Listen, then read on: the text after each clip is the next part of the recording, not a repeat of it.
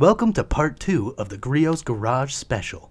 Today we check out more insane cars, thanks to the folks at Griot's Garage in Tacoma.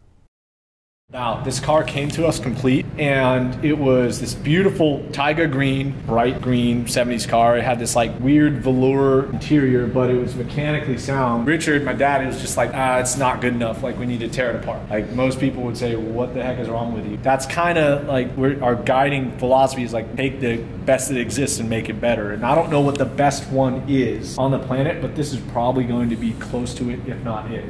Yeah. And just all the stereotypical little rust spots been addressed. What is it? It's a E9 30 CSI. So it's an early 70s, 1974 to 1972 BMW, straight six, like all glass. Great gearbox, nice big wide wheels, so you can see out of it really well. It's a really taut chassis, very very nice driving BMW. And again, this is like you're seeing it at its most incomplete state. But that being said, there's probably been 200 hours in the body already. Maybe that's an understatement, uh, but No, probably about 150 in the body. I know I spent two and a half months ripping the interior out of this car. yeah. Meticulously. Yeah, so Yeah. yeah, because it's going back in. Documenting Most of the most of the stuff can be put back in, but it's just all touched. It's polished. It's clean. You know, with with old vinyl, it responds well. You can dye it. You know, the glass is polished. The trim is redone in places where it needs to be. And then we're getting rid of that brown velour. It's going to be a black leather. So it'll be bright green with black interior. It'll be a pretty nice looking Beamer. This is total Frankenstein. I mean, it, it came out of somebody's head, and now it's a car that runs and drives. And this is another one where it came out of Japan. We didn't get E30 Tourings, the, the four door station wagons. When we got it, it's like, okay, it's good, it's complete.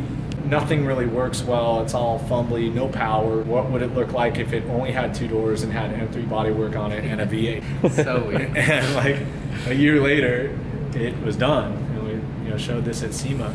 Yeah, because when I saw this, I was like, I've seen these cars before, but I didn't know they were wide. And I also thought they had four doors. So that makes a lot of sense now. Yeah. yeah. They're metal quarter panels, and the uh, B pillar's been moved to accept coupe doors. Re- Okay. Wow. That's, So- a, that's not a small amount of work. No. Fully redone interior, and it, it, so that engine is a 540 engine out of a E34, and then the matching six-speed for it. You know, the, I think the M uh, the M20 that came out of it's like 120 horsepower. Yeah. And this M60 is 300, and that's less the full, pretty much opened up custom exhaust system. So doubling the power. We also dropped off the front wheel drive component, so it's just rear wheel drive, Sick. which some people frown upon because they only made like 500 all wheel drive ones. But Yeah, we could you know, like, everybody's gonna be mad at doing what you want to do to your car. yeah. So, whatever. Yeah. This thing's definitely going to be This was our SEMA car, and so we filled it with all of our products when we launched the Boss system. Um, so we call it the detail wagon, as in the thought that you could pull up anywhere in this vehicle and detail any car. It's never actually been tested or anything, because it is a SEMA car, but it does fully run and drive, which I guess they don't have a Wi-Fi drive shaft. Bring it to my house and detail my 240. no, this is like yeah. At the end of the day, like this was this was part of like how we justified building this car as we brought it to SEMA as a marketing experiment. It's not a typical SEMA build in that it is like It works. again we wanted to drive this car and like we took it down to Monterey and we were ripping around the canyons in it. That's And, awesome. Like the V8 is shorter than the inline six, so you actually get a little bit better handling. It's weird. You'd think that you'd be adding like adding all that weight. get a little more piggy, right? Like just a little more understeer. But it's not. And you can obviously balance that by pressing the gas pedal and Yeah. shifting the weight right back. So we don't have to blast their license plate out, but there's current tabs on this. Registration is being yeah. paid. Yeah. This thing can move. I think this is going to go down to Bimmerfest uh, in California in May. Okay. So it's still doing its job in terms of promotion. yeah. yeah, we've got all sorts of crazy ideas. It's just a matter of time, space, and energy. the holy grail car, the 190e Evo 2 from Japan. I looked the other day, 5,800 kilometers on it. It's- this one is number 401 of 500. Um, and like I said, it came out of Japan. Most of the cars that we have to import do come out of Japan. Surprising amount of rare German cars there. Um, wonderful 90s and 80s. This is the one where, like, if you if you like early '90s racing, this Yeah. car speaks to you. This is a very important car. Yeah. Yes. It- and it's just like the most ridiculous Mercedes you've ever seen. This is That's like if you grew up with Gran Turismo 2 and 3, like, this was like, Yes. what? Yes. They make this in, like, I thought Mercedes is just like the old man kind of like, wait a minute, they're doing some crazy shit in Germany. You know, the biggest thing, like this wing, everybody If you look was so upset about the There's size of this adjustments wing. there, and there's adjustments underneath here as well. And so the M3 dominated DTM first couple years, and then by the time Mercedes introduced this car, they, they had this you know really aggressive body kit on it, and they were like the German or the BMW guys were dismissive. They were like, yeah, if that wing actually creates downforce, like you know, write me a letter. Or and they won that year with this wing, and That's awesome. so Slap in the face. yeah. The key lock for the trunk is inside the, the star. If it's outside the star, it's not a real Evo. Huh.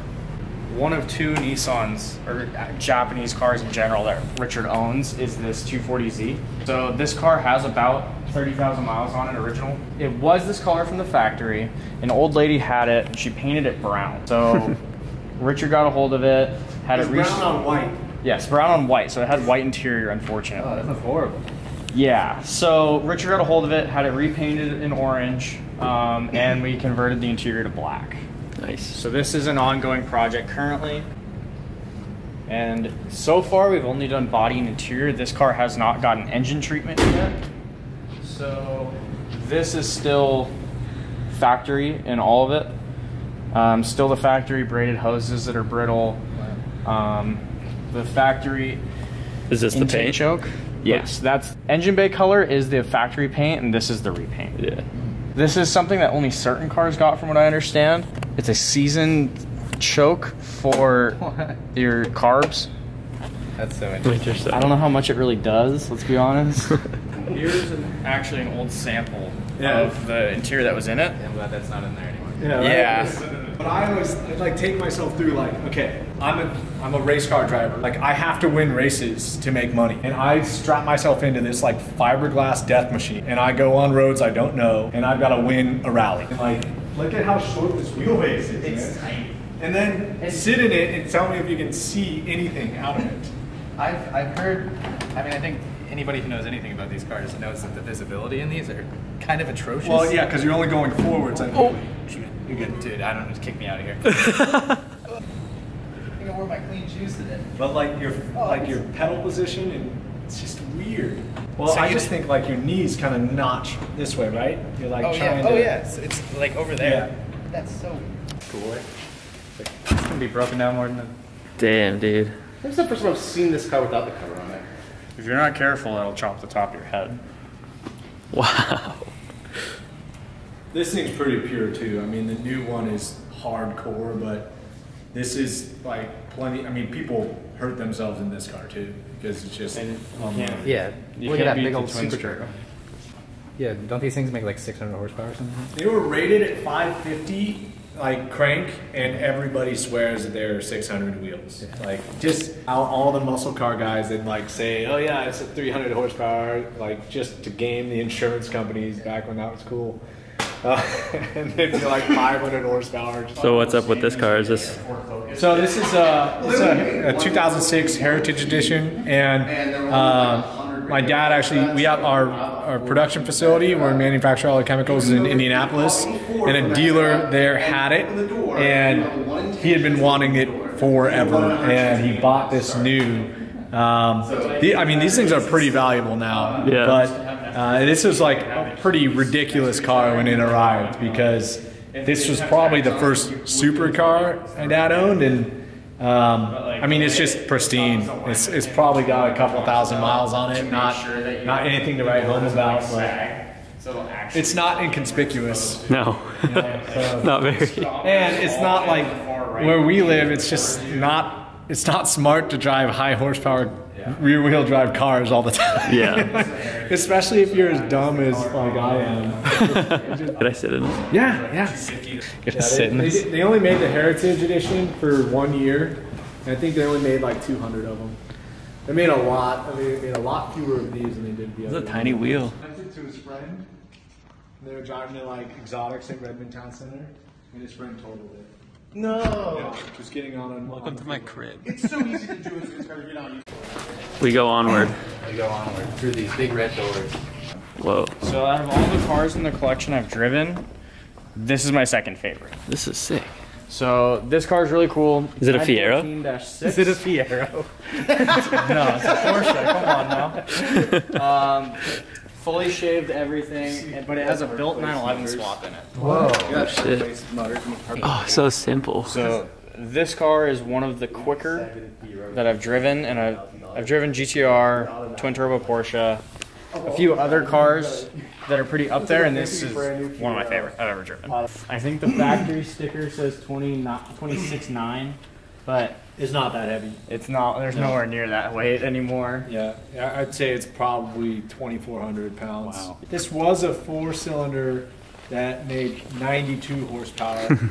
and now it's like a fully spec 3.2 that I think cranks at about 250. Okay. It's plenty. Yeah, 100, 100 horsepower in this is probably plenty. Yeah, it, it moves like, and it it's got I mean 11 inch wide wheels. It's got plenty of rubber.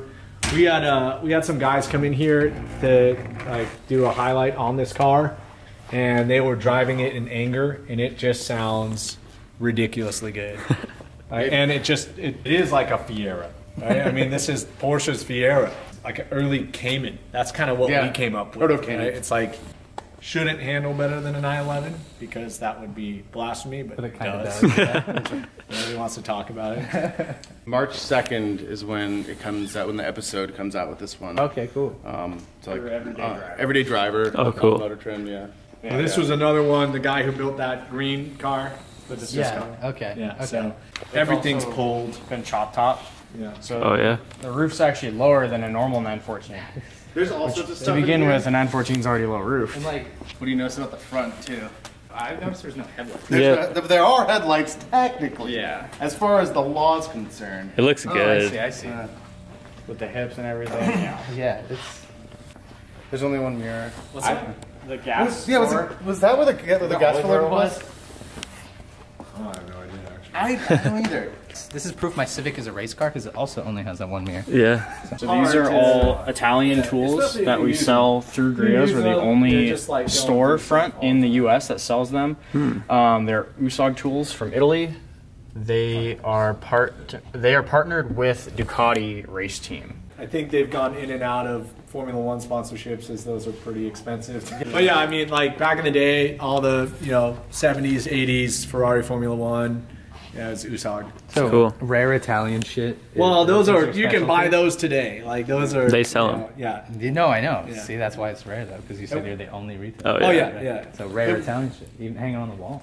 Their claim to fame was they were the McLaren F1. All right. Now, what do we have here? I have put together a assortment of goodies for you guys. I know that a lot of your cars are a little track use and such. So uh, first thing, this one, this is something we made. This is Track spray. This is made specifically to get uh, burnt rubber off of your fenders and stuff like that. It melts it off. It, we use this on uh, Nick's race car. After it came back, and it just like all that stuff that you spend forever scrubbing. That's so So Sick. they put it in there. Sick. I mean, for instance, wash and wax. It's just the uh, wash that you can do in your garage if you want. Oh my gosh, I don't want to go through all this, but uh, bucket smudge remover. Uh, here's the stuff you're really gonna Yeah, use. yeah. Here's the, let me let me tell you some of the badass stuff. This is the shit. So all your uh, brake dust that accumulates on your wheels and stuff, this just dissolves it, turns it purple. I need uh, like three gallons of that. I'll see if I can use some more. I got heavy duty wheel cleaner. It's just a slightly more diluted Oh, version. okay. So you, I gave you a whole gallon of that and the heavy duty wheel cleaner. So you have that. If they're really bad, then use this. They're but, bad. um, I, I have wheels that are brown, and I bought them white. So oh jeez. Oh yeah. No. Then uh, and then also for your tires, the foaming tire cleaner. This is like the most legit stuff, and it's not gonna. It, there's no dressing in it. I have used that before. Like, Have you? Yeah, I've, I've used that. That Because this one just came out. I have not used that before. This is just you can use everywhere. Degreaser, general, whatever. Uh, lots of wheel cleaning tools, Right. lug nuts, little brushes, uh, tire cleaning tool. Nice. So, um, and then a shit ton of towels. Oh, I love So- towels. Michael Fibers. fiber. Michael. Ooh. uh, just like your general shop towels, is a whole stack of them. These are really good for just wiping stuff off. Pretty much a general purpose as well. Glass towels, you want to be able to see so you don't run into walls and stuff. True, I need one of Uh, those bad. of those, well, I mean, you have one less window now, at least. yeah, the- true. So uh, interior cloths and we've used this, and then these I got you two because you probably wouldn't want to share them because uh, these are extremely absorbent towels. I actually just use mine as a bath towel as well. Really? Like I've got one just hanging over my shower awesome. right now. I was just about to say I'm gonna just like wipe this with the They're, shower. they're big enough, and they'll they hold like five pounds of water. And like our biggest complaint is people will say like, "This thing is like it just gets really heavy." and it's like it's too heavy to use. I'm like, "Yeah, it's 'cause it's Wring it huge." out. Yeah, and Does its job too well. yeah, wring it out. It does its job too well, literally. Um, and then our classic that we've always had speed shine if you just want to wipe stuff down. I use this on the interior, same with glass cleaner as well as interior detailer. You can use this stuff just around the house too. You don't have to necessarily use it on your cars. You Yeah. can use it on a lot of different On your things. I use body. this on like on your body. I use this on my computer screen actually. oh, sweet. So, oh, and then this one, you should definitely do this during the season. Is just seal seal up your glass. Uh, effectively high strength uh, Rain-X. Okay. Yeah, like, really, really super, and it lasts a very long time. So Not let it hit the paint. yeah, Okay. don't let that. And Awesome. wax if you ever get to the point where you wanna. I got you the long lasting stuff too.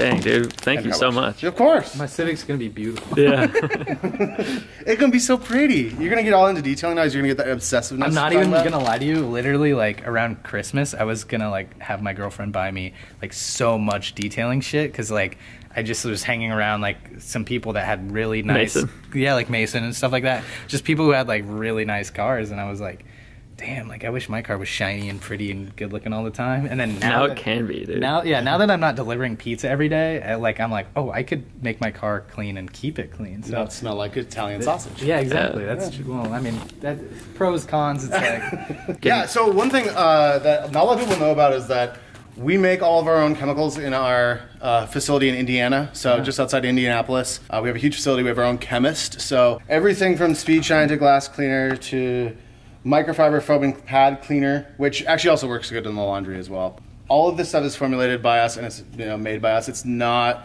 Um, packaged. It's not just like sent to us in big containers from China. Yeah. Um, and they're all to our specs. So Cool. it's super high quality.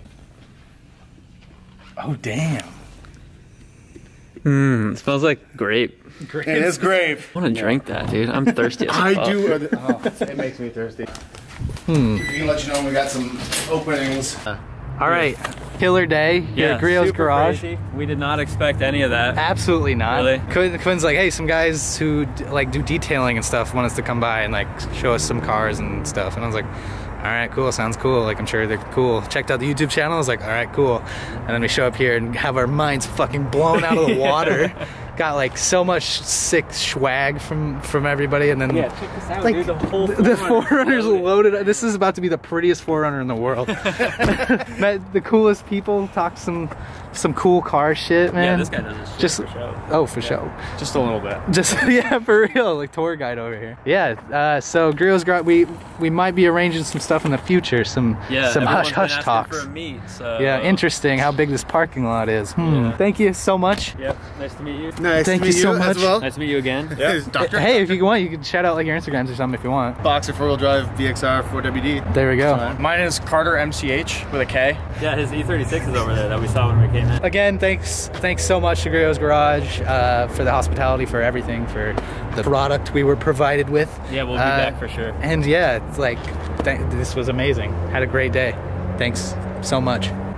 Thank you. Thank you. Okay, thank you for real for checking out this two-part video. Uh, it was amazing to make, and thank you so much to Griots for having us out. Goodbye.